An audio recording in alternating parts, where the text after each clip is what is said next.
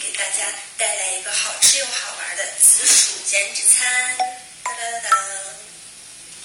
然后我的食材有紫薯、酸奶、麦片，对，就很简单。所以自己平常没有事的时候在家做也很方便。然后第一步，先把紫薯的皮剥掉，这个是我已经煮好的紫薯。为什么主食选择紫薯呢？因为它有很多很多丰富的膳食纤维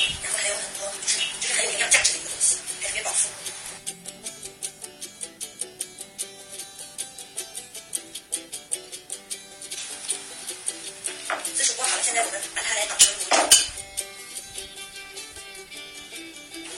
了，糯糯的紫薯已经捣好了，然后把它铺成平的。接下来选择一包低脂酸奶，然后把它倒在铺成平面的紫薯上。